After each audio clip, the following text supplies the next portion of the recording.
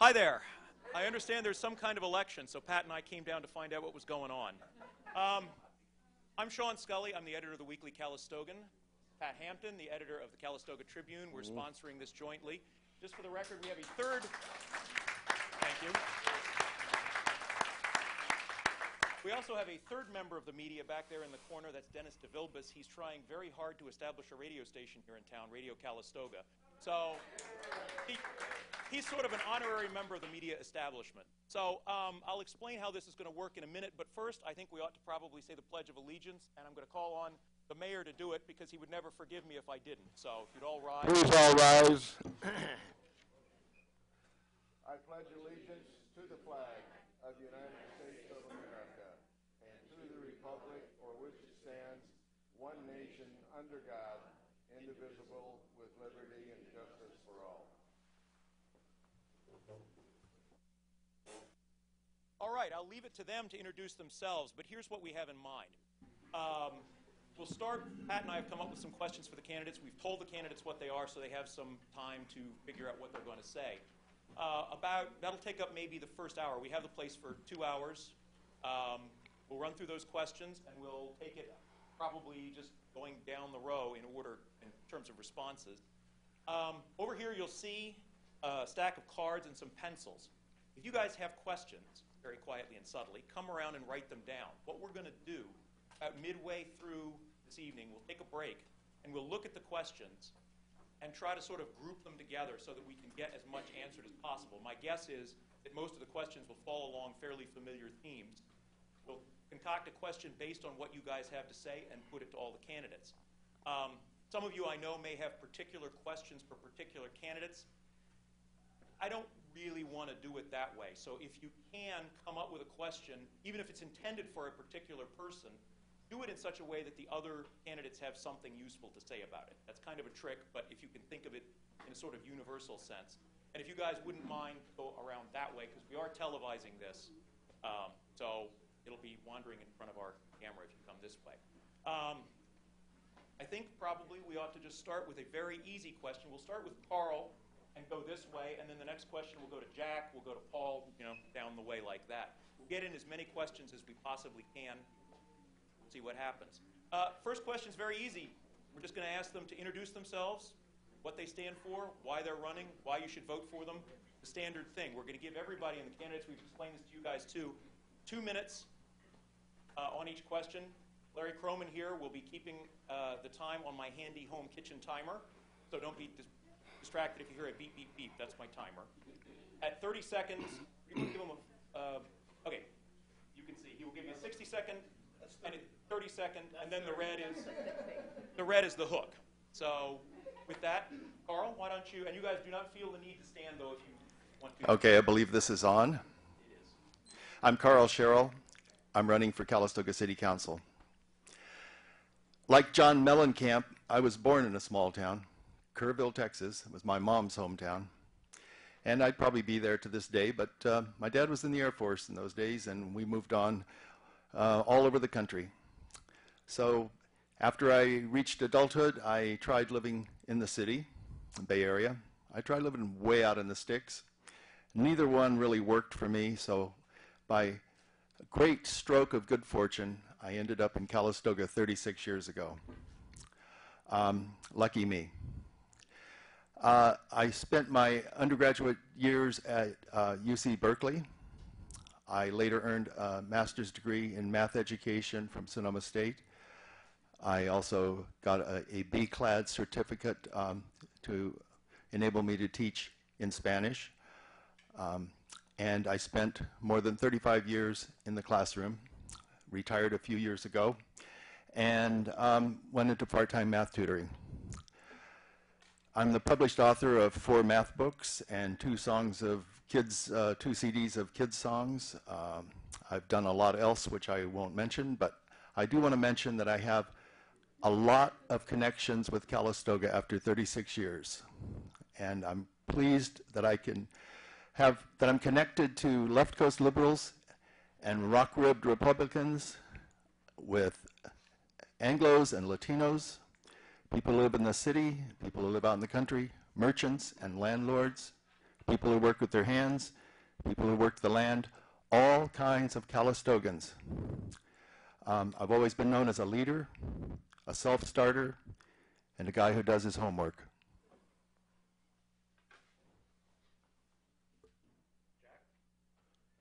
Thank you very much, Sean. I'd just like to let everybody know that came in here haven't watched the sports scores because we have two games on tonight. Giants are ahead five to one as of about uh, 20 minutes ago.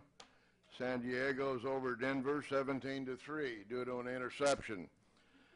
With that being said, I'm going to move on. As most of you are aware of, that I have been uh, serving the last three terms as your mayor had a very enjoyable time representing not only this community, but you folks, the constituents also.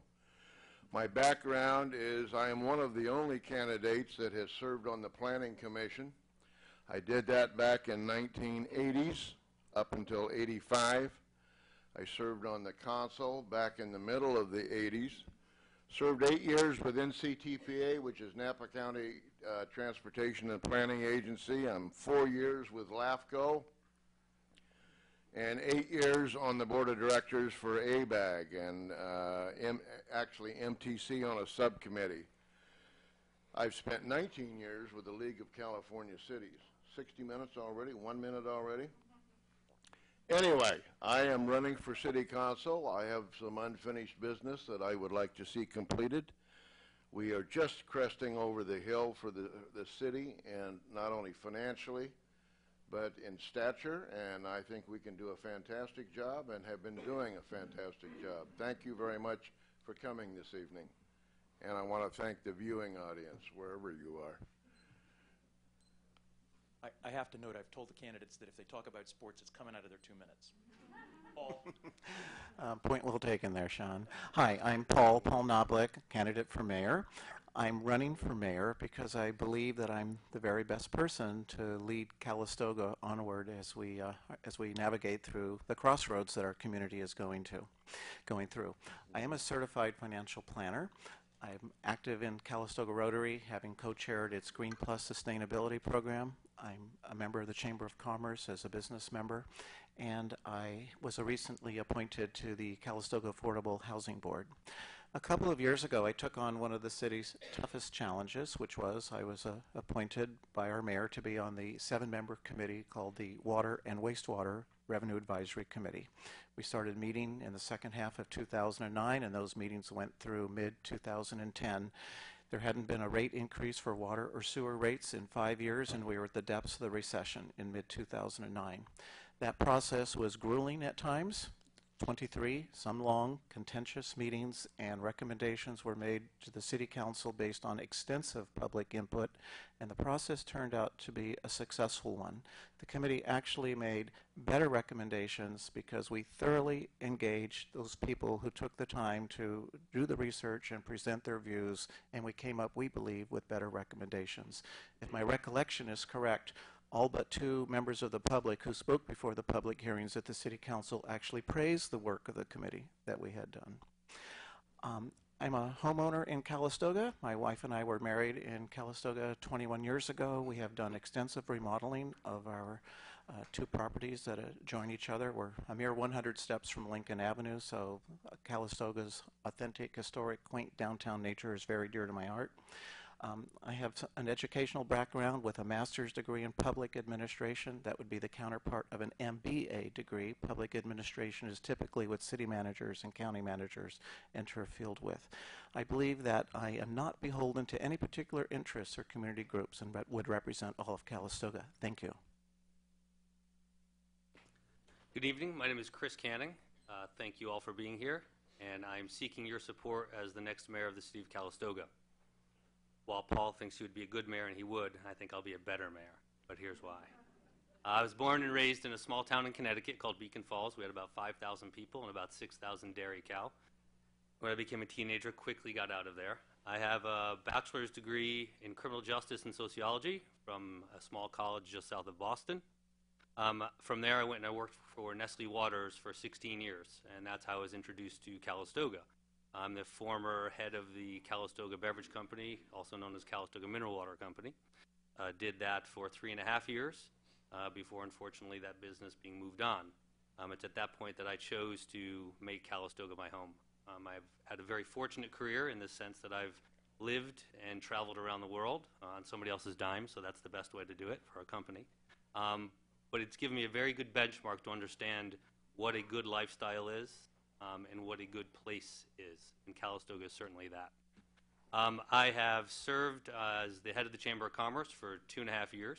I've served as your city councilor for the last two years. I'm a member of Rotary. I'm part of the Napa Valley Destination Council, part of the Napa Valley Vine Trail, part of the American Red Cross Heroes Selection Committee. Um, all things that I do that are giving exposure to Calistoga outside of Calistoga as well. Um, the reasons I think I will be a good mayor uh, for you is I have leadership, vision, and experience. Um, I've led very large organizations with very large budgets. I've also helped very small organizations who've had very challenging financial times. Uh, I have an appreciation for what a small town is while understanding and having to face the realities of what life deals us. Um, my approach is balanced, I'm fair, I'm compassionate, yet assertive, uh, studied, and decisive. Thank you. Good evening. I'm Jim Barnes, and I'm running for City Council. Thank you all for coming.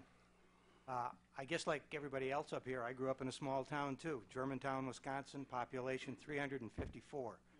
My dad was a mink rancher, and I grew up with 5,000 mink. And like Chris, I got out of there as soon as I could.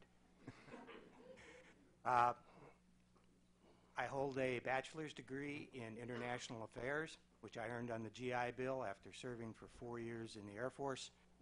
I served our country from 1962 to 1966. I enlisted during the Cuban Missile Crisis, which has its 50th anniversary today. Uh, I served in Japan and Vietnam and went back to Florida State to earn my degree on the GI Bill.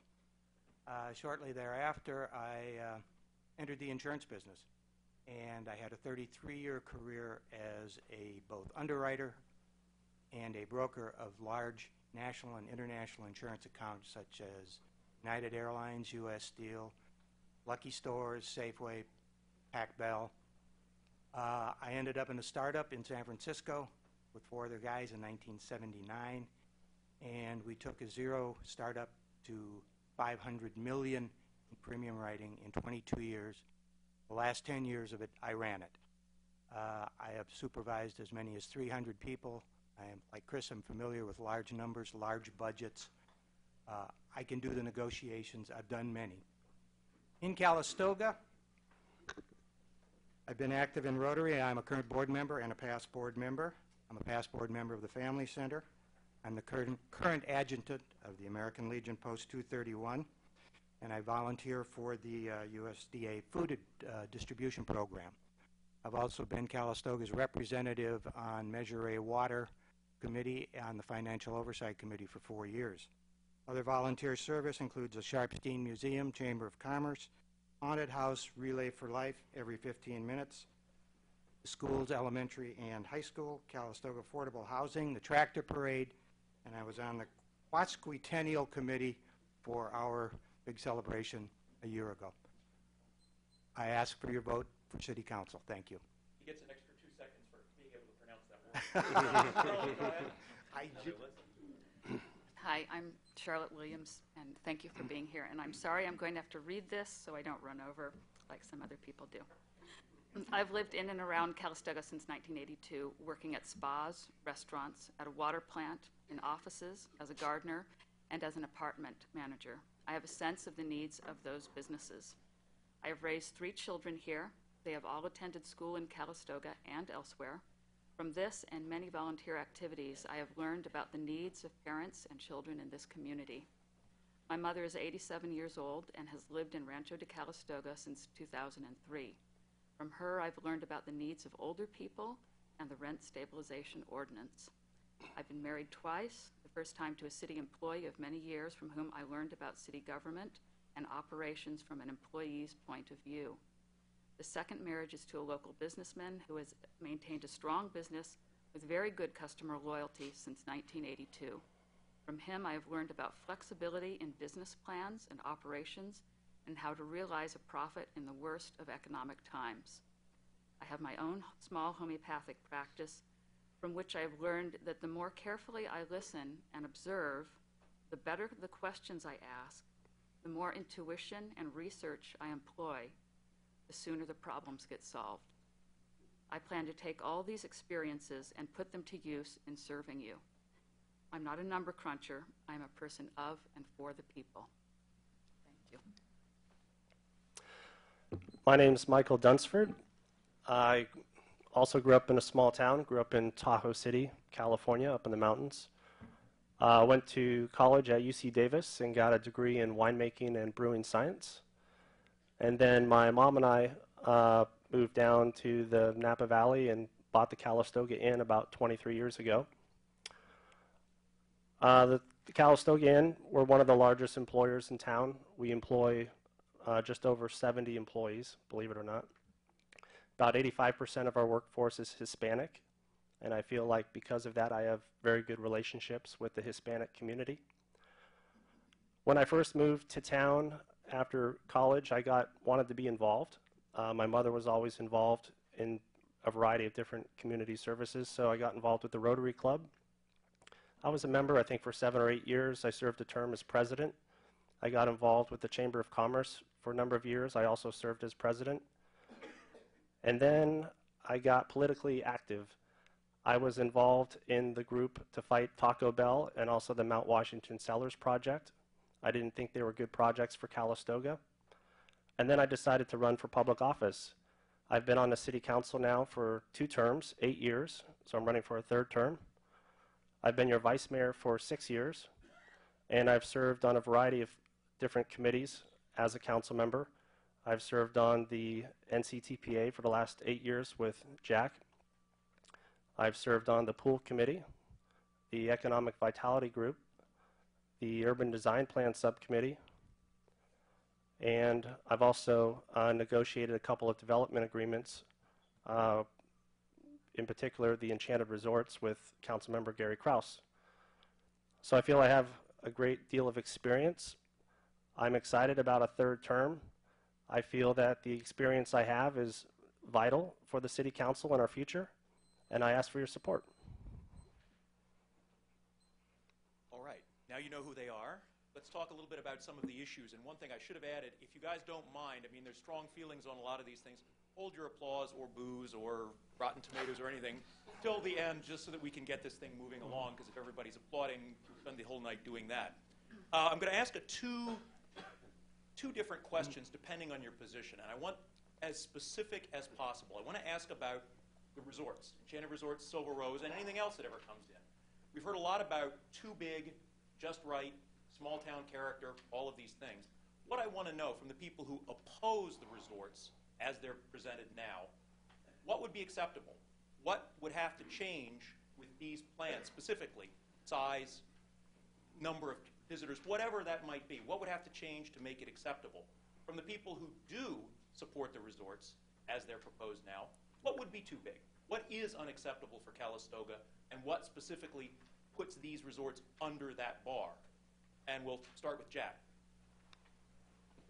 Thank you, Sean. I just, before I address that, I'd like to ask why everybody's wearing blue shirts. And Charlotte and I are standing out like a, you know, anybody that's watching Technicolor.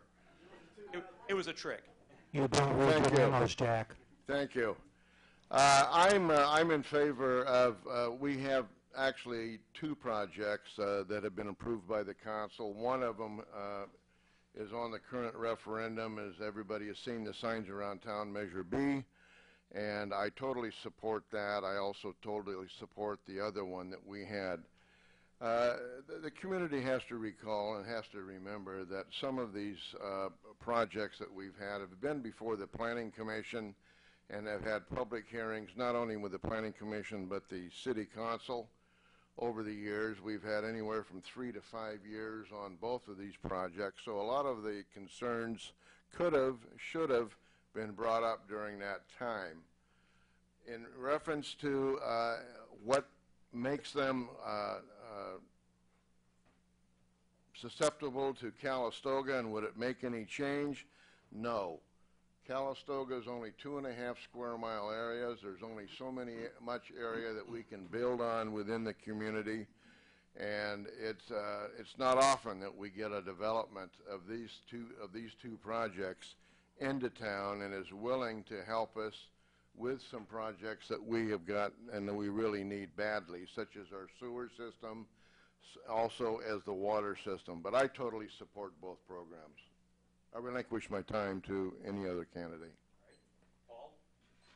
Uh, Too big or too small is just not something that I quite relate to, so I'll, I'll give it a stab here, okay?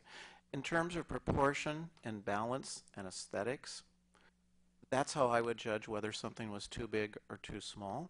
Uh, Silver Rose already has a development. I've driven up and down Silverado Trail in Rosedale on several occasions, and I try to visualize what it looks like, and it feels right. So too big or too small? No, it feels appropriate to me.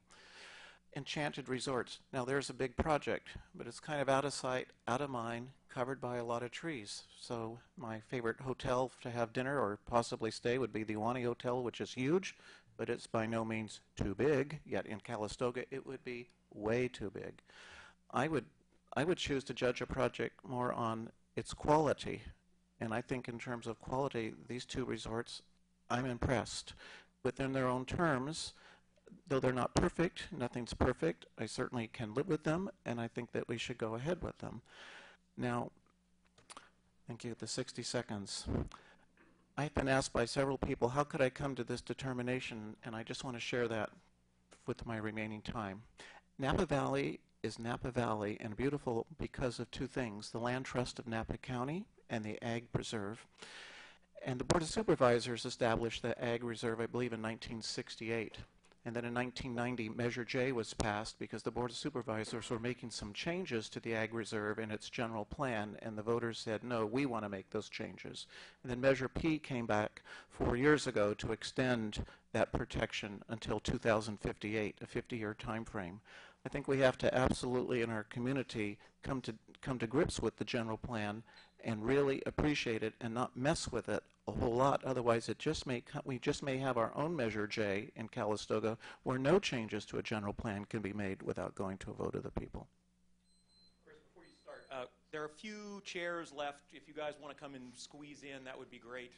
Um, I I guess it's a good problem to have. You have some extra chairs there? Any? Okay, don't be shy. Chris, go ahead. Sure. Uh, I am uh, as well um, in support of both the Silver Rose project and the Enchanted Resorts project. Um, there, what's what's too big and what's too small? There is a process that both went through, that all projects go through in Calistoga. Um, it's a very fair, a very public process, um, and it starts long before uh, it even gets to the city council uh, table. Um, that is the opportunity for a, an entire community to weigh in and let those that lead it decide whether it's the right size or not. Both projects and the next largest project prior to that, Solage, all went through this project process. They all started much larger than they were, um, and then through a series of compromise, feedback, etc., all projects were reduced. Now, obviously, not everybody is going to be uh, completely satisfied with all that ends up being on the table. But when you have to take into consideration what's best for the community, what's best for the neighbors that are going to be near these projects, and also, in fairness, what's best for the landholders um, of those projects, um, all that has to go into the pot and be taken into consideration. We do have some guiding principles. We have a general plan, for example um, a general plan that is, by its sheer design, a flexible document. It is not in marble, it is not gospel. Um, it is designed to be changed, altered, improved to go with what the changes are that the community realizes. We also have people that serve and volunteer in the community via the Planning Commission. Um, that is a very difficult process, that is a very difficult position to hold. These are people who volunteer within our community to help us come to these decisions. Um, what is too big? Too big is when an entire community, not a small number, says this is too big, and then the negotiation occurs.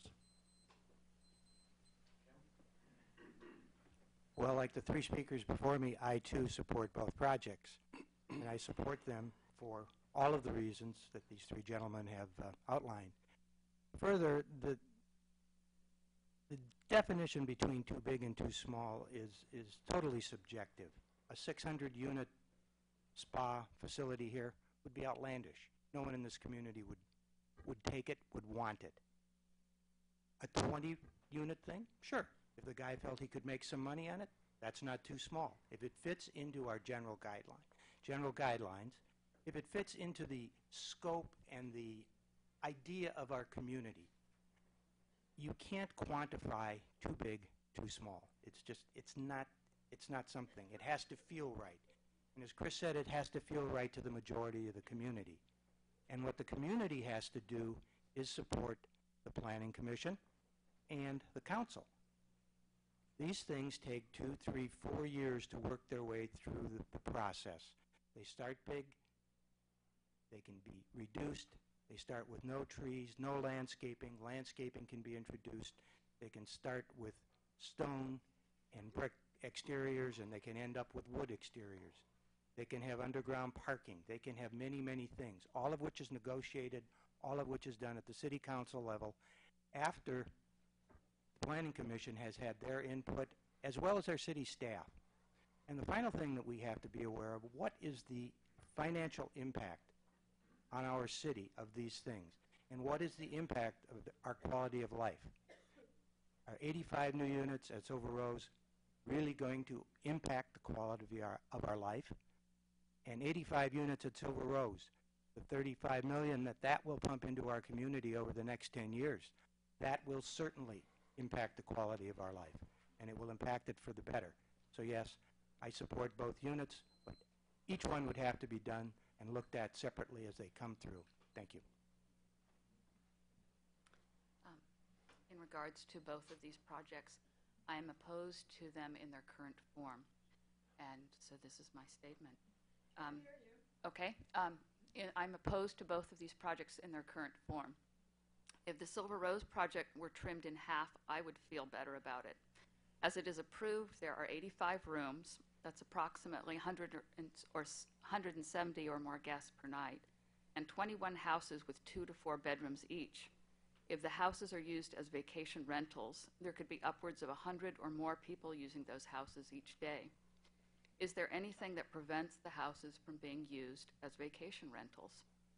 The possible impact from the houses has not been fully addressed.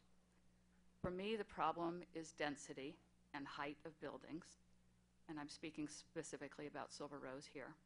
At 24% ratio of total building square footage to total acreage, Silver Rose is currently three times the density of Solage, which is at 8%, excluding the affordable housing at Solage. Keep it smaller, lower, and the entire project more similar in density to Solage, or even up to 12 to 14% de- density. If a large project is to be built in this relatively small town, there should be ample public input into the design. If I were on the council renegotiating this project, I would ask for one month of public comment and then synthesize all those arguments and bring them to the table. Because Enchanted Resort is a whole different issue with no current resort on the property, this requires a great deal of public input incorporated into its design. These properties are hugely valuable, and the current approved projects are highly impactful and should be treated as such, not quick fixes to our mistakes or our misfortunes.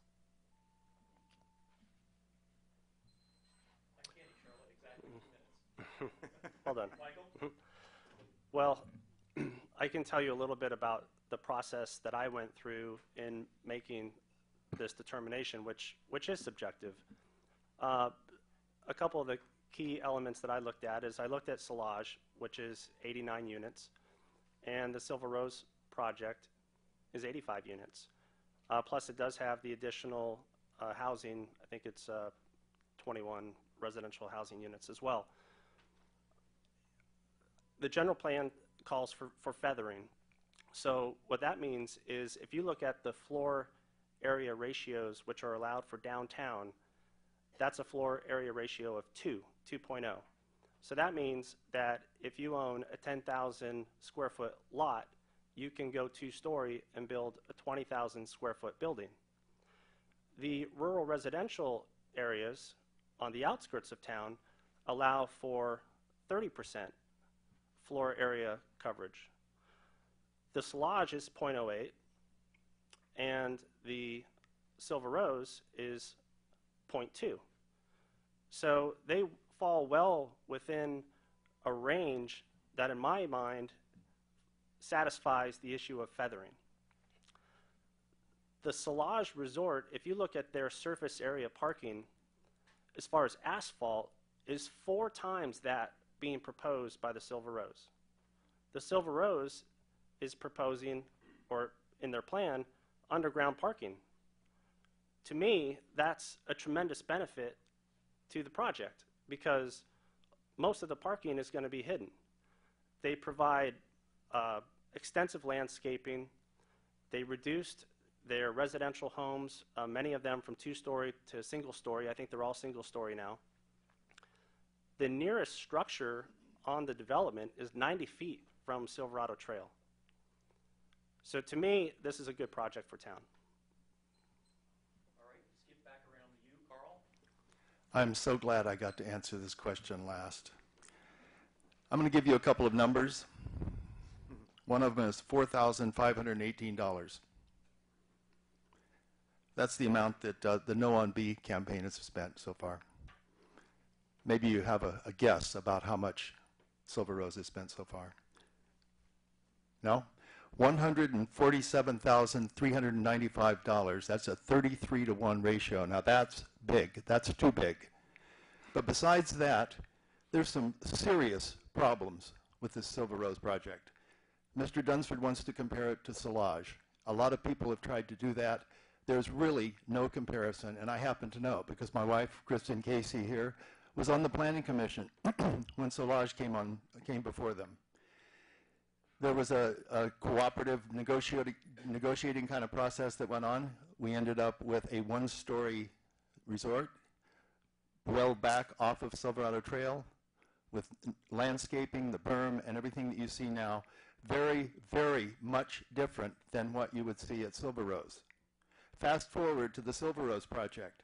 After hours of testimony, dozens of letters, the Planning Commission made some very moderate recommendation, modest recommendations to make it appropriate to one of the key entrances to town and to meet some of the concerns of the neighbors.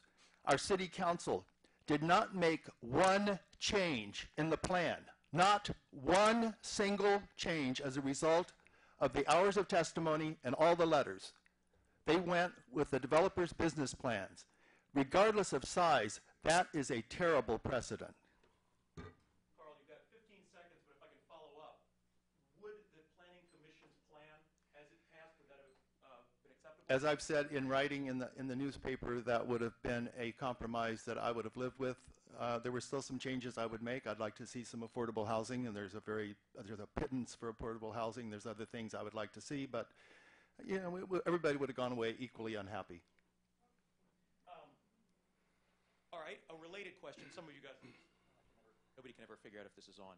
Uh, uh, Some of you have already addressed it, but um, one of the major disagreements we hear running through all of this is the general plan.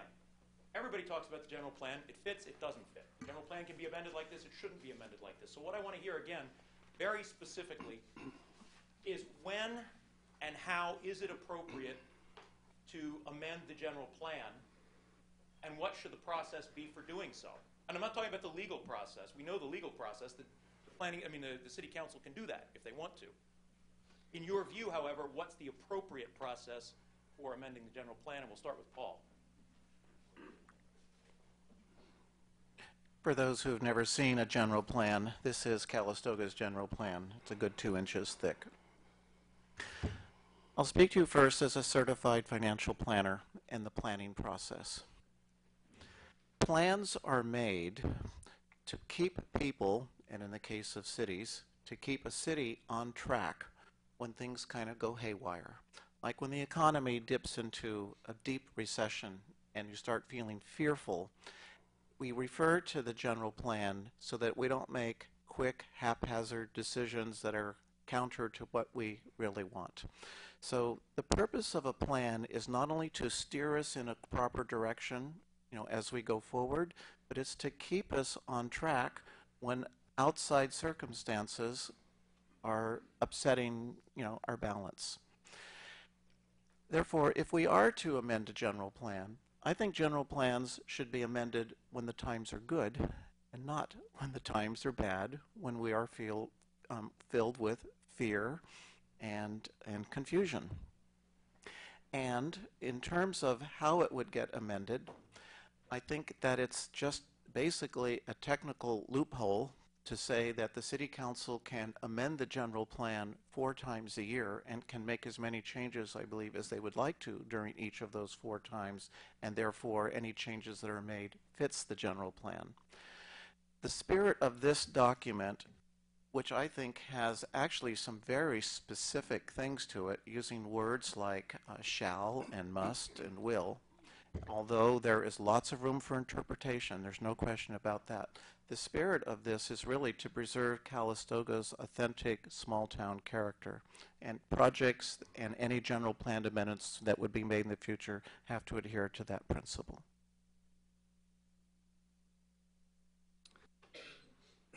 As I mentioned before, a general plan is very is a fantastic idea. It's required by law. It's an excellent guiding principle. It's also a plan that is created by a community at a particular moment in time. It's recommended that general plans are reviewed, modified, at least overlooked again every 10 years. Our current general plan is 10 years old, maybe 12. Um, it's time, sorry, maybe nine. It's time for it to A, be looked at, and you do that through the process when things are brought to your attention, developments, resorts, etc.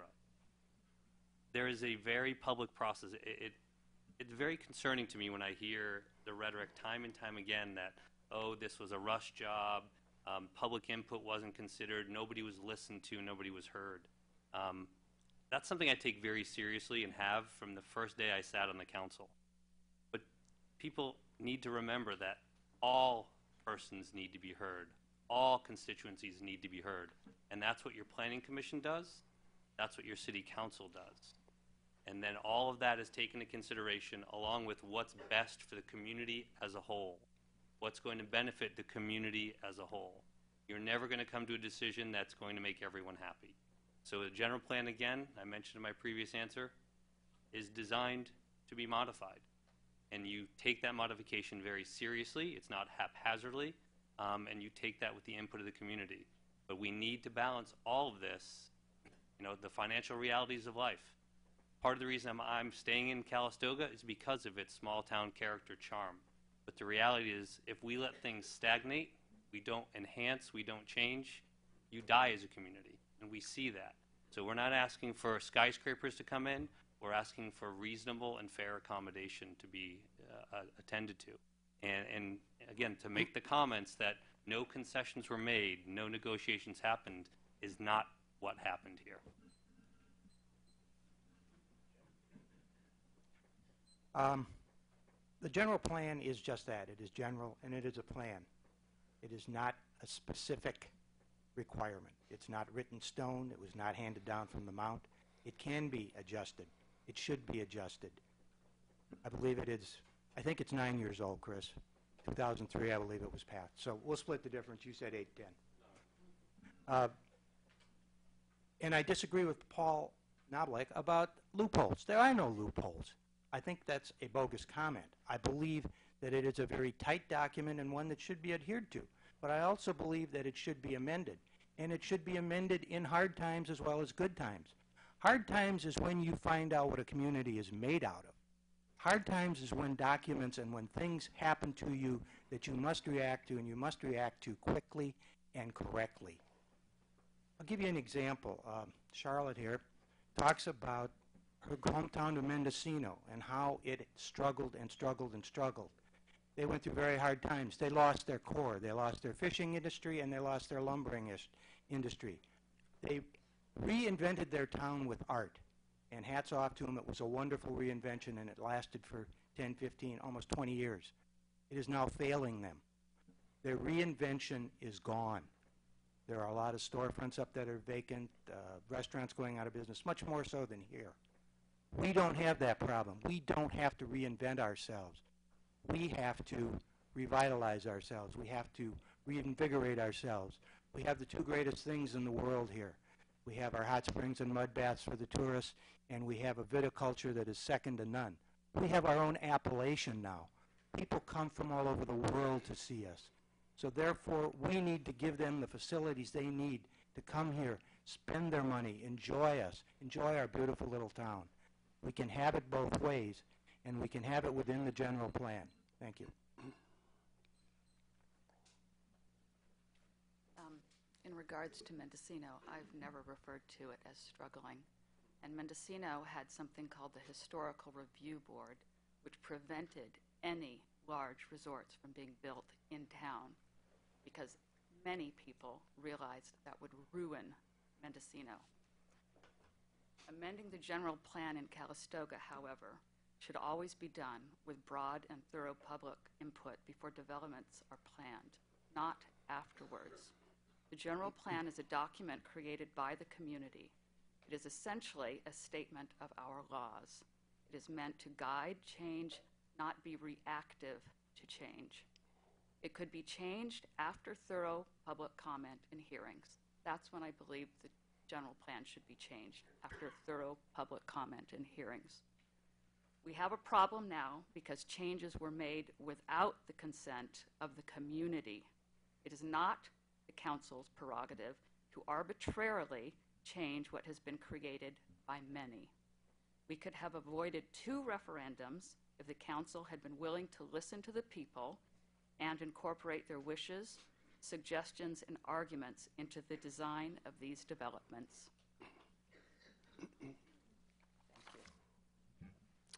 I wanted to address um, a couple of the comments Mr. Sherrill mentioned. The, the two items of, that were in contention primarily regarding Silver Rose were the deletion of seven residential homes, which was a recommendation of the Planning Commission, and deletion of the deli. People, the deli, people were thinking that this was going to become Visa Tui.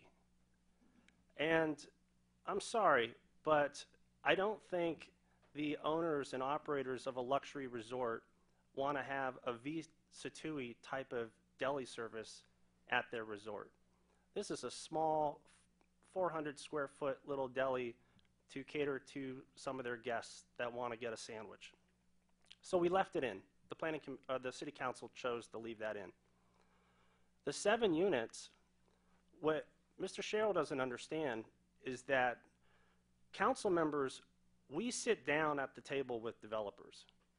We negotiate development agreements. We sit there and we ask them straight up, eye to eye, can you reduce your project? Can you get by with less? We, as council members who represent a broad spectrum of this community, understand the sensitivities of this town. And if they're telling you no, then what you're asking me to do is call their bluff. And in this economic time, I'm going to be very careful about doing that. My job as a council member is to look after the welfare of this town.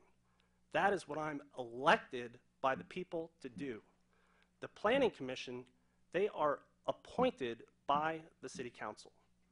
I appreciate their recommendations. In these particular two cases, I think they were wrong. In, in five seconds, when can you amend the general plan?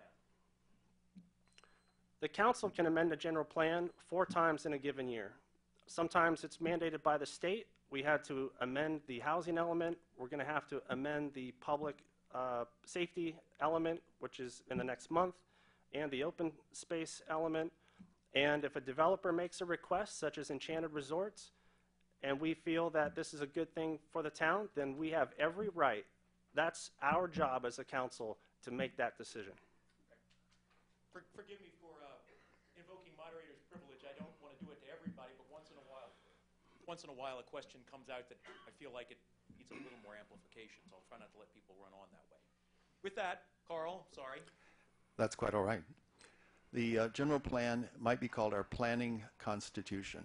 And like our federal constitution, we should not lightly amend it willy-nilly. Um, at, some of us were at the hearing when the lawyer for Enchanted Resorts said something along the lines of, when the needs and value of a community change, then it is time to amend the general plan. She said that twice. The upshot of that being, well, Calistoga's needs and values have changed a lot since they wrote that general plan. Well, if that were so, then why did the UDP, which is almost newly printed, echo and reinforce many of the elements of the general plan? that, that wouldn't make sense. Uh, also, I was at a, a presentation uh, where Aaron Harkin, also of Enchanted Resorts, said, when Calistogans wrote the general plan, everybody knew that in a few years they would need to amend it to allow large resorts, such as Enchanted Resorts, in the loca- location like that. Well, everybody did not know that. Everybody knew that that general plan was what they meant and should stay in place unless there's a good reason to change it. So, has there been some mysterious, dramatic change in Calistoga that people no longer value those things that are in the general plan? I don't believe that. I think changes in the general plan should be those that benefit the entire community, not just a particular developer who comes before the city offering big bucks. This is about much more than just Silver Rose. This is a precedent saying this is how we will plan for the future. And we need to make the right decisions now. Thank you. Yeah, Sean, thank you very much. I'm not going to argue the merits of the case. As, as I indicated earlier, it's been done for the last three to five years. We have a general plan. This city council and other city councils that I have sat on religiously obey the planning rules, the general plan, et cetera, the, the guidelines that we can go around that. To address some of the issues about public hearing, we've had all of the necessary public hearings. There was input. You were able to write letters. You were able to come down and make comments to whether the planning commissioner, et cetera. But to sit and make a false accusation that there's been no public input, no chance for that, you're wrong. Dead wrong. That's all I have to say. Thank you. All right, we are almost at the halftime. Um, thank you all for staying within time limits, and thank you all for being civil and listening. What we're going to do is take a little break. Um, we've got cookies and candy in the back. Over here, we do have a basket. If you can ask questions, please write legibly.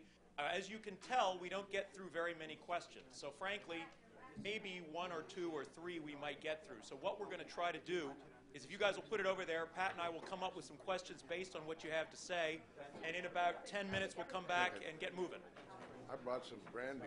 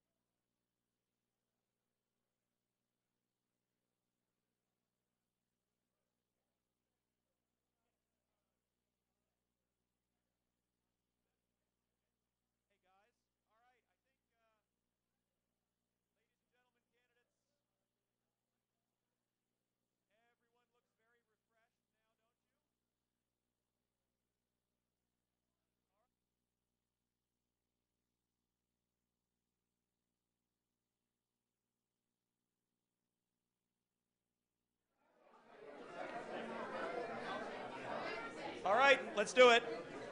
Do we have our candidates? Somebody give Paul Knoblich back to us. There we go. Everybody, everybody want to take their seats? Come on. Please take your seats. All right. So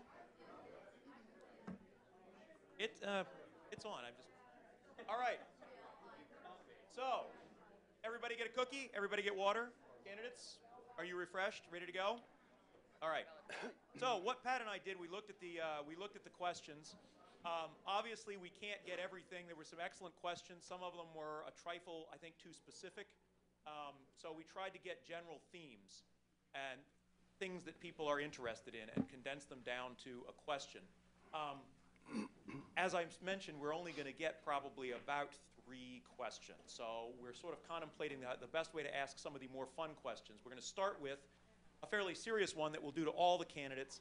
It's possible we may take some of the lighter ones and sort of give them to a few of them at a time, just so we get more things going. We'll, we'll, we'll decide. We're making this up as we go along.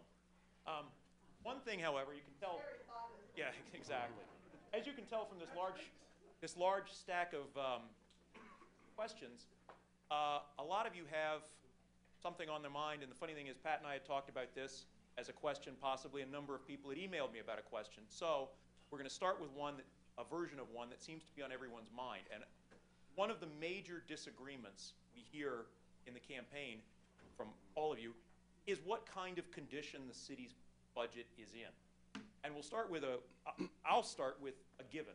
The City's budget is balanced because it's got to be. So it becomes a question of how bad is the city's condition? Some of you have said, essentially, we're going down in flames anytime. Some people have said, we're not going down in flames immediately. Maybe in a little while we got to do something. And some others of you have said, look, things are going in the right direction. We're going to be okay. So give me a specific analysis of the budget from where you see it, where we need to go, and talk in the future because a budget in any given year has to be balanced, but it's two years, five years, ten years down the road what's going to happen. So give me your best analysis and thinking about what the budget means for the future. And I believe we're up to start with Chris. All right. Having had a little bit of insight on this for the last two years, the best way to summarize our current situation is we have a balanced yet unsustainable budget. We are required by state law, of which the state itself is not required, to present a balanced budget by July 1st of every year. This city has done that. Um, under the guidance of a city council, but also with a very strong and very good city manager that we have in Richard Spitler, which, by the way, we're all very lucky to have him with us. Um, we're balanced because we have not invested in any new infrastructure. We're balanced because we have not set aside funds to maintain current infrastructure. We're balanced because we have kept city staff at a skeleton level. We're balanced because that skeleton city staff has had to uh, assume sacrifices to their compensation packages. We're balanced because we're not making investments in services back to the community. So, yes, we're balanced. It is absolutely unsustainable. Let there be no question about that. With that said, I'm not going to tell you that Rome is burning. I'm not going to tell you we're falling off a cliff. What I am going to tell you is there is an issue. It's the, the, uh, the analogy I use is like buying a house today with a 30 year mortgage and say, for the next 30 years, I'm going to do nothing but pay my mortgage. I'm not going to check the roof. I'm not going to fix the plumbing. I'm not going to check the electric. I'm not going to paint the house. Completely unacceptable situation to be in. We are fortunate to be in a position to have the ability and the opportunity to generate revenue. There are very few other areas we have to cut expenses. We will not cut our way to prosperity. We need to generate revenue. Thank you. Like Chris says, it's balanced. We have to balance it. It's the law. Uh, to take its analogy of the house a little further, we're also taking money out of that house with a home equity loan. So now we have done nothing to our house in 30 years and taken out any equity we may have. All we have left is this shell. Carl likes numbers. I'll give you some numbers. 4.2 million today in deferred street maintenance. If it goes three more years, it'll be 6.8. 23.5 million in current debt. Our debt service is roughly a million nine a year, pay back the principal and interest. That accounts for 26% of our operating budget, right off the top, before we do anything. 64.5 million. Million. That's the city's projection for capital improvements over the next 10 years. That's what we have to spend to stay even. Seismic retrofits, new trucks, maintaining this building, maintaining everything in the city, sewer and water. No, we're not going over that financial cliff today, and we probably won't go over it next year, but we will go over if we do it. We are deficit spending our way to oblivion. Uh, Carl says that our budget is balanced, and we are having our greatest year in history. 7.4 million almost in the budget. He is correct. Our operating budget is 13.9 million, and our total revenue from all sources is 11.9 million. We are operating this year on a $2 million deficit. The reason we have a surplus and it's balanced, we borrowed $3,778,000. That's where your balance is. That's what this city is doing. That's what we're facing. That's why we need these projects. Thank you. I think Calistoga's city budget and the state of the city right now is a direct reflection of the local and national economy. Things have been really bad for many people the past three years, and I don't believe that's just Calistoga city government. And the building trades felt that back in 2006. But governments, I think, certainly our local government, didn't notice that major wall that was hit by building trades all those years ago. And so what we've got is a big problem that partially, I believe, occurred because government wasn't paying attention to what the private sector knew was happening. And maybe retail wasn't feeling it that long ago. Maybe retail didn't really feel it until later, 2008, or definitely into 2009. But if people, and I believe the city council as well as city administration had been paying attention to what was happening, we wouldn't be here now. And what I see in the future is okay, we've got really, we've got debt. We've, we're 20, 22 and a half million dollars in debt we've got.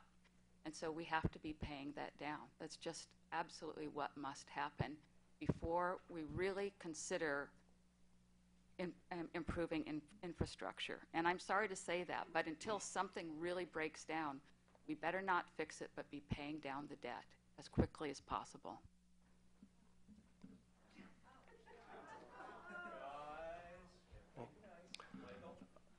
Well, I've been on the council for eight years, and uh, I, I- guess uh, to make the statement that the council, you know, wasn't paying attention is just not true. I mean, we had, we had, we've had to make these cuts by reducing staff, by reducing benefits, by reducing wages. And that's a very difficult thing to do. And this council made an attempt to do that several years ago when we saw that things were sliding. But these are people who have worked for the city for, in some cases, decades. And you're basically going to give them the axe. They're losing their job. You're cutting 14% across the top off of everybody's benefit package. And that's a tough thing to do. And fortunately, in order to balance the budget, things got so bad that, uh, and thank God Richard came in at the right time, and the council had the backbone to make those very, very tough decisions. And as a result, we did balance the budget. Back then, yes, I would say we were potentially falling off a cliff. Things were looking very, very scary there for a minute. Fortunately, the economy seems to have bottomed out. Things are starting to turn around. We're not, we're through most of the litigation, hopefully. Uh, and we're moving forward. But as, and I don't want to repeat what the others have said, but the reality is, is that we do have about 60 plus million dollars worth of infrastructure upgrades that we have to make in order to survive over the long term. That is such a huge number. The only way that we can subsidize those costs is by new development.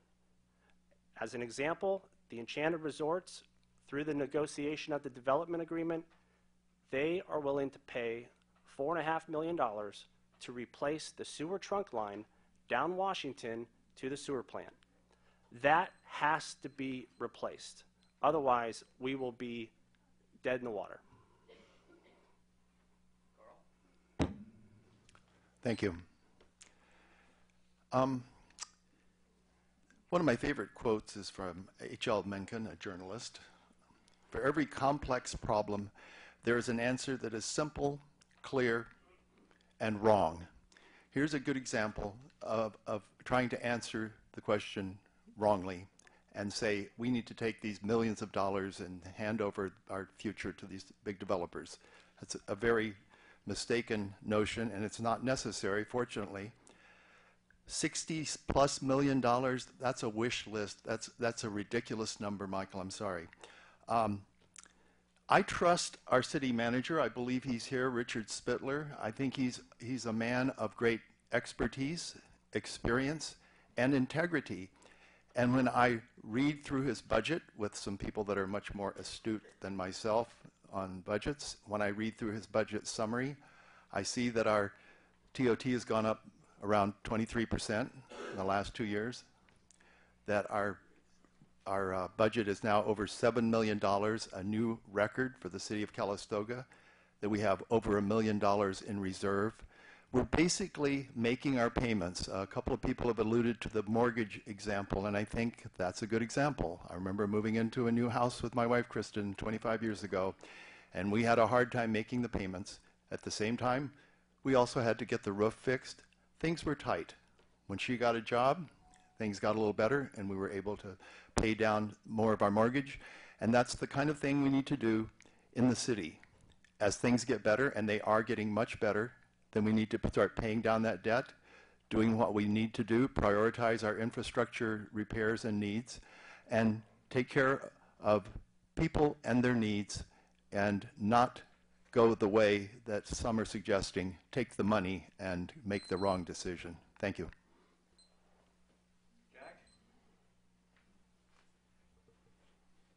God, I really don't want to ans- answer this, especially after Carl's idiotic remarks. Uh, ex- You know, the comments about the finances and et cetera with the city and the $1 million reserve, I, you know, we I came in today, we're looking for that $1 million, and I can't figure out which drawer to look in to find it.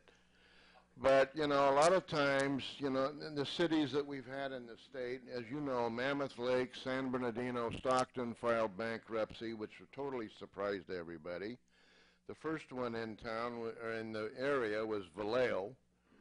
There's 12 other cities as we sit tonight that are currently pending with bankruptcy. We're not there, thank God. We were thinking about doing that about a year ago, year and a half ago. We had some figures that were given to us by some finance people that the city had hired that were, in my opinion, erroneous. And they were giving us information that telling us that if we take this and put it over here, we should be okay. When we needed a new city, city manager a couple of years ago, we did look into Richard Spitler and we brought him on board. And Richard was one to go in and face reality with reality and says, we are not financially stable right now. So we had to make some hard decisions. We made it with the police department, we made it with public works, we made it with the unions, we made it with our fire department. And it's decisions that were hard to do and hard to deal with because these are people that you work with, these are our neighbors, these who are we living with. The figures hopefully are coming up and we're hoping that we're going to be doing a fantastic job. You know, the debt service, I agree with one of the candidates, Jim Barnes. The, you know, our debt service is way more than what we should be at. Thank you. And our cleanup hitter, Paul? Um, Richard, I have a high degree of respect for you, and I want to quote what you wrote on page two of the 168-page Doug, uh, budget document that you presented to the City Council. I believe you wrote it in June, three, four months ago. Without a decrease in city services, with a slight increase in revenue, and now I quote, the city will end with fund balance and reserves of 1.2 million or 19% of operating expenditures. I am banking that what he has said is the truth. So this tells me that we're not at the fiscal cliff. The city is going to make it through pretty well um, for another year. But we do have a deteriorating infrastructure. This is going to take big bucks. My best professional assessment is we do need revenue coming into the city because otherwise we are just postponing the inevitable. I do find it a little curious that when I chaired the city's Water Wastewater Revenue Advisory Committee in 2009 and 2010, that I pushed very hard for us to have a 2% surcharge specifically lined item for infrastructure, since infrastructure does last for approximately 50 years, so that we could be responsible stewards going forward. The city staff, the former city manager, the public works director, the assistant city engineer all said that wasn't necessary. So here I am, I'm running for mayor. There seems to be conflicting information.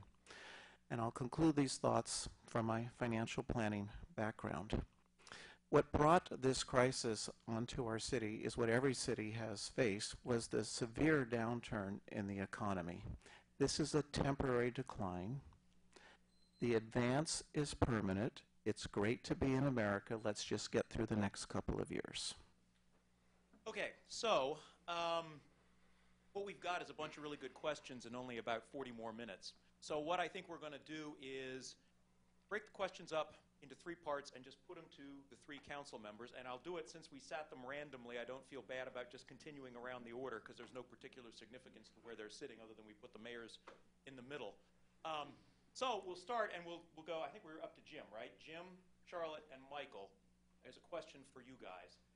As you can see, as you can tell, um, there are hard feelings this year. People are passionate, they're angry, they're upset, say things. So, but still, we all got to live here after November 6th. So what would you do as a council member to heal the community, make sure things stay civil once the new council comes in in December? Well, I would hope that Calistoga goes back to the friendly, lovable, small town that I fell in love with 18 years ago when I bought my first piece of property up here, and 11 years ago when I moved up here permanently. Yes, this has been a divisive campaign. Yes, there are diametrically opposed viewpoints. And yes, there are diametrically opposed viewpoints even with the people that are for the propositions and those that are against. Not so much against, the four. Uh, Paul Knoblich was talking about the balanced budget. He's a certified public accountant, and he quoted our city manager in the beginning of the budget summary. Let me quote the city manager in the last paragraph, his summary of the summary. There are, however, significant risks associated with the fiscal year 2012-13 budget. They include unforeseen economic deterioration, inadequate development-related fees to pay debt service, and unanticipated state takeaways. Let me repeat that.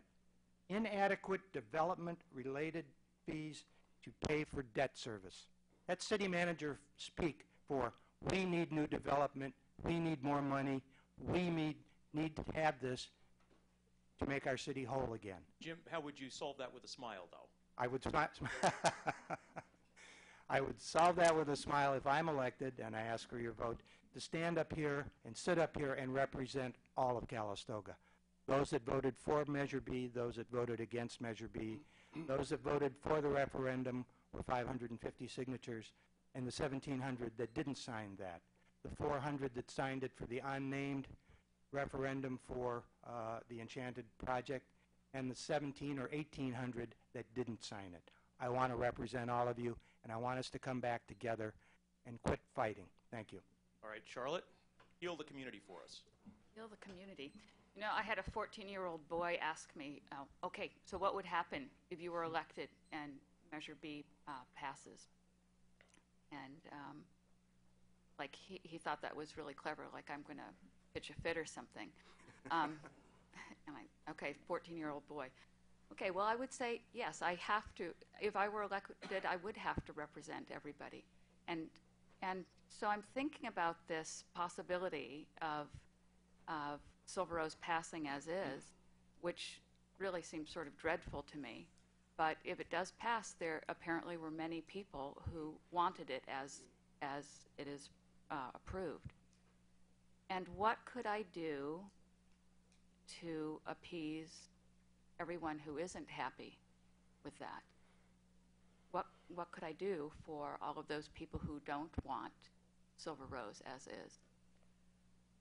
Um, I, you know, I've really enjoyed going door to door with this campaign. It's probably been my favorite thing to do to meet people uh, face to face, one on one. And um, I don't know that I could make it better for everybody by continuing to do that. I'm just thinking about this, you know, this format like this, just just as we are here, and how I've sat through so many city council meetings past several months, and planning commission meetings, and I'm not exactly sure how how it could happen um, to bring everybody back together. And not like we ever were all together anyway. I think this is a town full of individuals and some very strong individuals with very strong opinions. Um, I'm not exactly sure. I'm not sure what, what could make it better for everybody. Um, because one way or another, there are going to be losers uh, this November. And Michael, other than restoring the flow of your delicious red ale, what could you do? Well, I'm actually I'm glad you mentioned the red ale because it just so happens that I have tanks full of red ale that I actually can't get rid of. So my my plan is to have a big community party, and I'm not going to notify the health department, and we're going to consume beer and hug each other and have a good time. How's that sound? I'll let you applaud. For, I'll let you applaud for that. Okay, but you know, in all honesty, honesty, uh, you know, we live in America. This is democracy at its best. Um, I have the utmost respect for all the other candidates. Um, you know, Carl and Cheryl. You know, we probably have different points of view um, compared to the other candidates, but you know, Charlotte's son goes to the same school that my son goes to. We volunteer together. Uh, I have a lot of respect and admiration for Carl.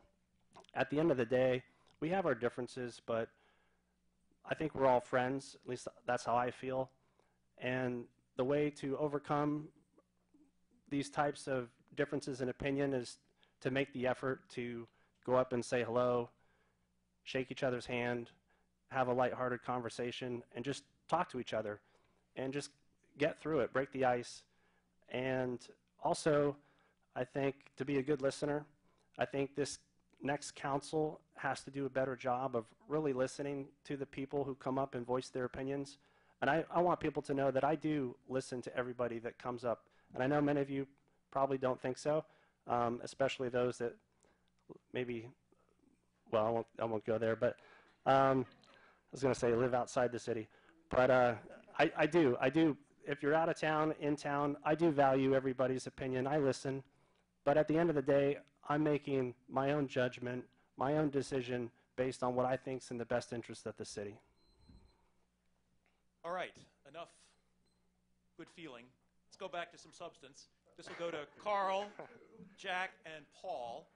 Um, one of the issues that has been very contentious of, of late has been the rent increases at the senior parks, and I know a fair number of you here, we had some questions about it, a fair number of you uh, live here or know people who, live there and- or know people who live there. The RSO is up for, I believe, a year. Well, there's been some talk about review- renew- re- reviewing the RSO.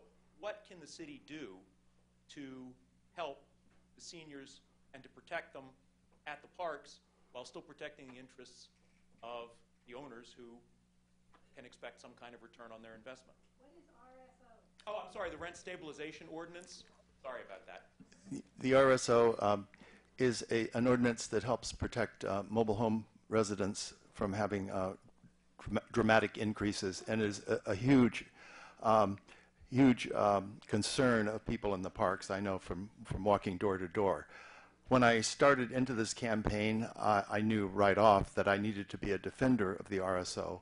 But after talking, after reading the RSO, which is not a lot of fun, but it's not too long, and after talking to several people who have been involved in the negotiations and so on, I'm convinced that one reason we've had problems defending the RSO is we really need a much stronger ordinance.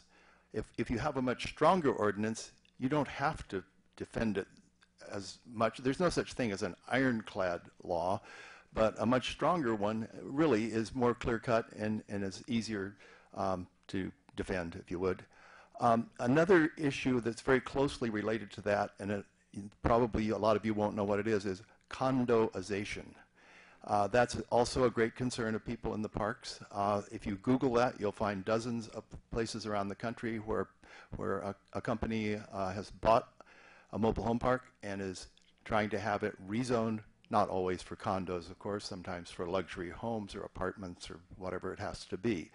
But the upshot of it is, if that happens, sometimes the residents are just out of luck. And that the mobile homes uh, are one of the, the few really affordable um, housing elements that we have in our town. They're really crucial in the lives of so many people who are on very limited incomes. So I would say we need a new, stronger RSO, and we need to make sure that we don't condoize our parks. Yeah, thank you very much uh, for being able to answer that. Uh, In in view of some comments by Carl in reference to the condo, I mean, I've I've heard that over the years, but it, I, it's not going to happen. It won't happen in Calistoga, and at least not in my lifetime or anybody that's in this room. The RSO uh, was approved back in the early 90s by another consul, and it was an awesome document at the time. It was the, the idea was to protect the individuals that live in the mobile home parks, at the same time protecting the owner, the property owner, who has an investment in that because they do buy them as an investment. They were allowed to, and they are allowed to go for an increase based on CPI and everything else. There's a formula that's in the RSO that you're free, anybody's free to read, and we have had some problems with it. We do need to re, be relooking at it, and I think it'll always be relooked at because if you tweak one thing today, it may change tomorrow. There is an issue. We have three mobile home, three, we actually have four mobile home parks, three of the major, larger ones. The uh, Chateau, the back one, uh, they had a large rent increase, but they had 18 folks withhold from that, and they won their arbitration, and uh, they don't have to, their increase is 1.8% per year. The front park over, over in the Springs in front of the Chateau has uh, not really had any issues come up. They had the owner, one of the owners, longtime owners, uh, uh, pass away. The big problem that we've had over the years, as most of you are aware of, it's always in the paper, is Rancho. And we have an owner over there that just likes to push the envelope, and uh, we're still negotiating in two courts, the state court and the federal court. We won the federal, and uh, which is under appeal right now, and we're just waiting to hear back from the state. Thank you. I'll use one of my two minutes on RSO. Um, it comes up for review, was to have come up for review within five years, which I believe was about two weeks ago. But the city council has been very busy, so the new council should take that up as one of the first items. I've read the whole rent stabiliz- or, or RSO, rent stabilization ordinance. Spent two hours with Don Hollingsworth, a little more than an hour with Marvin Braun. I think I understand it as well as any layperson probably could. I was immediately struck that on page one, it recognizes the right of the property owner to make a reasonable and fair profit. It just struck me that if this ordinance is designed to protect our seniors living in the mobile home parks, that that sentence doesn't belong there. And I believe I heard our mayor say that it was designed and written by a previous council to protect both the homeowners and the property owner. I don't know why a property owner needs to be protected. No other business in America is guaranteed to make a profit. Oh, there's my 60 seconds. Good. I want to answer the question about what I would do to heal the community. And it is one of the reasons that I'm, one of the key reasons that I'm am running for mayor. I believe that I have the personal qualities, the demeanor that brings people together. I am a person who sincerely listens, paraphrases, and truly seeks to understand. And even though it is, it is correct that the folks who did not want to see the resorts go through as passed had indeed been heard, they had every opportunity, the legal process was followed. For some reason, they didn't feel that way. In fact, they were so angry by the way that it all came out and was done that they had a grassroots movement that went and gathered four or five hundred signatures. Something went wrong. I think they didn't feel that they were listened to because, in my observation, they did not get direct answers from the council. They always had to read the answers in a staff report, and there was not that serious dialogue back and forth to come through with a better solution. All right, since we have an odd number of candidates, I was contemplating what to do with Chris because he was stranded out there. So, since the other mayoral candidate answered both questions, why don't you answer whichever one you'd like or both? You have two minutes. Is an odd number of candidates, or you're referring to me as odd? Which, Take it as you will. all right. Uh, regarding the RSO first, um, when I ran for city council two years ago, um, and just about every week since, uh, at some point there's a conversation that's held about RSO.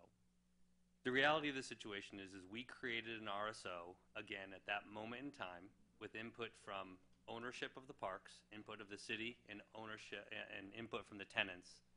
at that time, we felt we had a pretty solid document. Unfortunately, you don't tend to find out that your document is problematic until somebody else beats it up. And I'm sure Kristen could uh, enlighten us on how that works in the legal system. It wasn't until some ownership of these parks started to beat up the city and find the loopholes that we, quite frankly, found that there are some challenges with our document.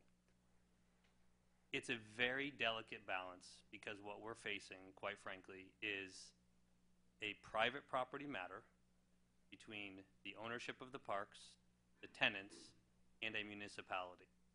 And we need to be as protective as we possibly can while still protecting the entire city. While, yes, the RSO is up for review, the issue right now is we can't touch it as a city council because of the litigation that is currently in play, as was referred to by Jack. If we intervene at this juncture, we then make the entire city, every resident of this city, liable and becomes another lawsuit issue. I'm very sympathetic to the to the situation. We should work harder. Um, it does take money to challenge these. It's costing us, you know, anywhere from fifty to two hundred fifty thousand dollars for the defense we're doing um, on one particular park. Um, you've all heard we're challenged as a community. Nothing would make me feel better to be able to say to our residents, "Hey, we're going to fight all the way to the bitter end on this, but we do have a responsibility to the entire enterprise of the community." Um, what I um, anyway. All right, I'll tell you how I'd, how I'd heal the community. So, um, we got just a few minutes left. Let's go a really easy question. Here's the softball. Michael asked for, for these, so we'll start with Charlotte, though. One minute, though. If money was no object, if Pat and I generously wrote a $10 million check to the city, what are the three things you'd want to accomplish with it? One minute. Pay down the debt. That's it. Pay down the debt and stop paying interest on that money. And then don't fix things till they're broken. That was less than a minute. Okay. Michael? Uh, I thought about that question long and hard, and I uh, would also uh, take a substantial chunk of that 10 million. Um, I thought was maybe around 6 million, and put that towards reducing the debt service uh, primarily uh, water and sewer uh, debt service because that might help us, the council, not have to raise water and sewer rates. Uh, the other thing I would do is probably take about three million and I would fund the construction of the art center and teen center and the new park and rec offices out there at the Logvy property because I think that benefits the children, it benefits the seniors, the families, it benefits everybody in town, and we need more facilities. And lastly, what I would do is uh, put some money, maybe about a million, into reserves, but I would also spend uh, some of that into beautifying the downtown, improving our sidewalks, planting trees, adding some water features to really spruce up the downtown. We're a tourist town, we always have been, and we need to invest in our downtown. Carl?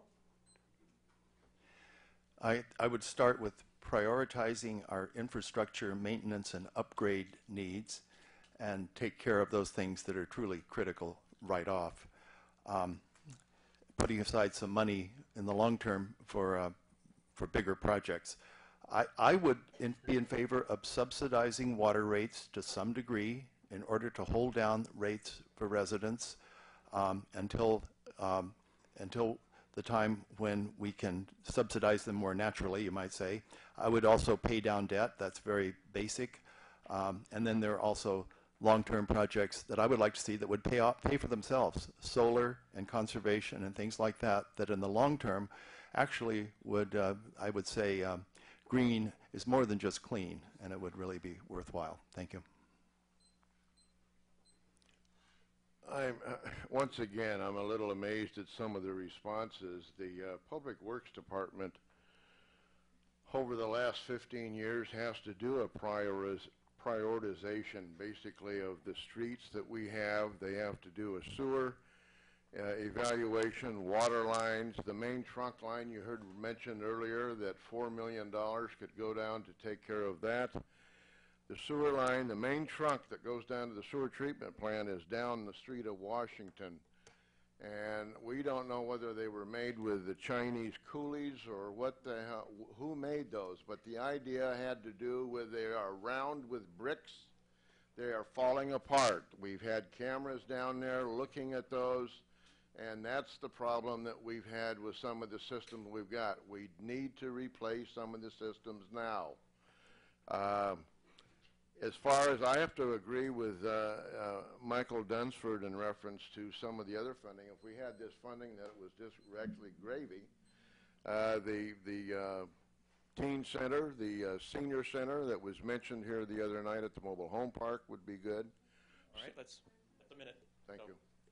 Uh, I would follow the 10-10-80 rule. I would take the first 10%, a million dollars, and that would go to people issues, quality of life issues in Calistoga. We've heard a few, teen center, arts center, beefing up RSO, um, correcting the worst of the sidewalks in terms of a trip hazard, things that improve people's quality of life. I would take the second 10%, a million dollars, and it absolutely goes to reserves. We need to have more than just one to two months cushion of operating expenses in the city. The other $8 million, the 80%, I would put it all to infrastructure repair, not paying down the debt, but, but literally correcting those leaky sewer and water pipes.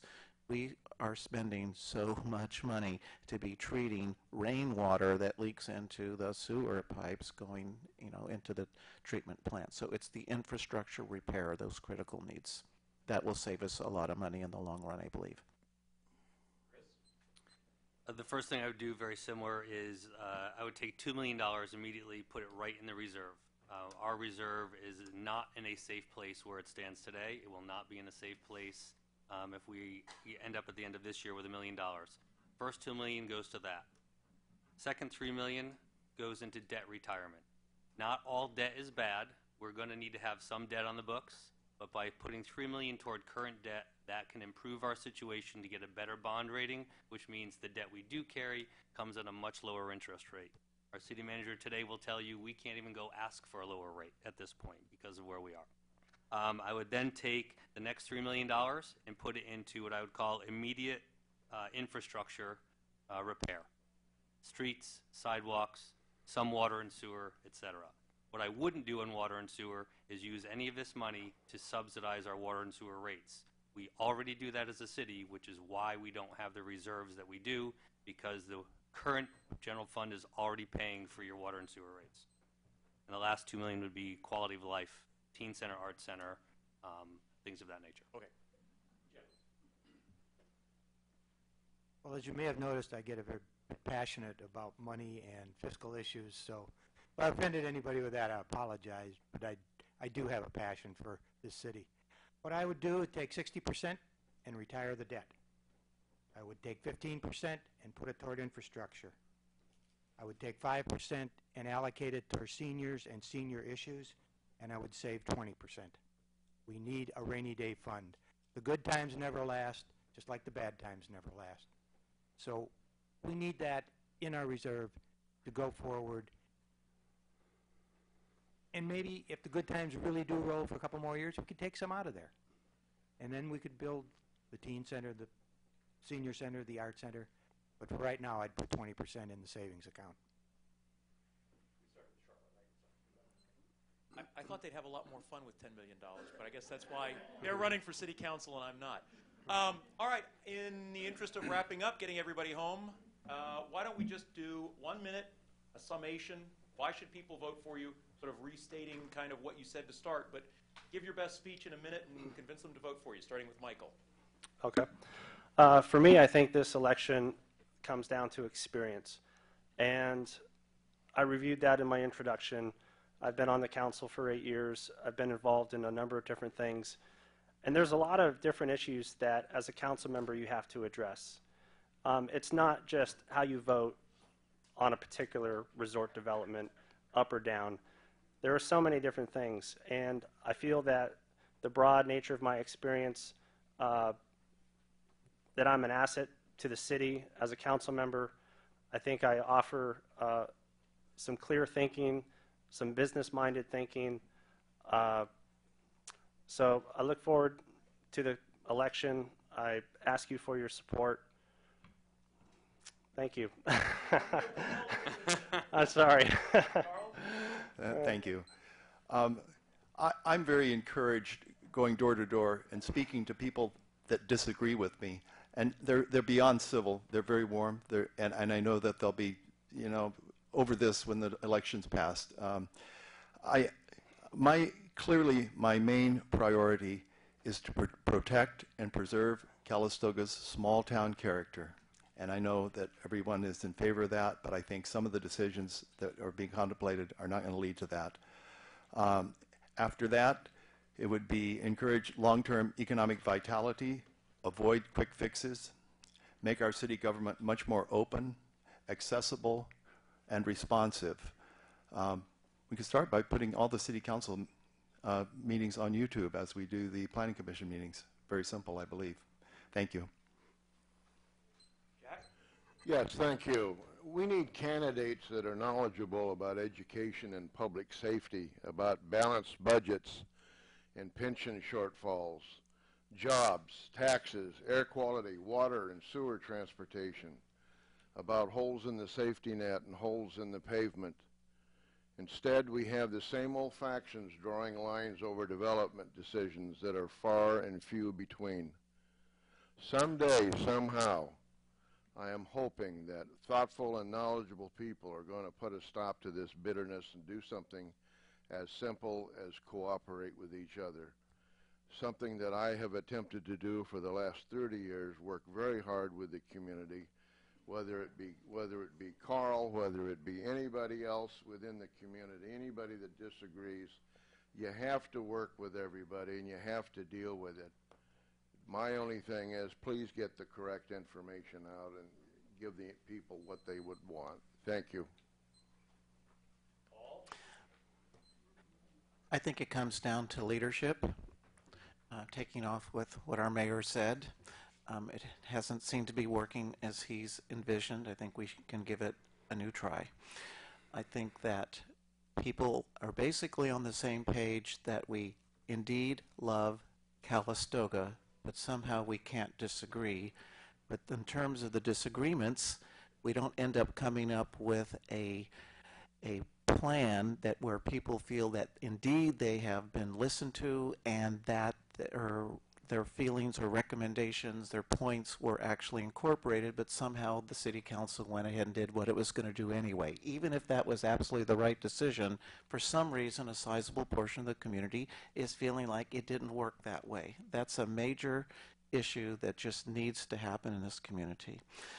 I'm comfortable with large numbers. I manage about $50 million of clients' money, and in terms of fiscal responsibility, I would make that my first priority with the city. Thank you. I'm asking for your support as your next mayor. Uh, Simply, I have a strong love for this community, as everybody sitting at this table does. I feel privileged to be able to use whatever skills and experience I have had to benefit the city.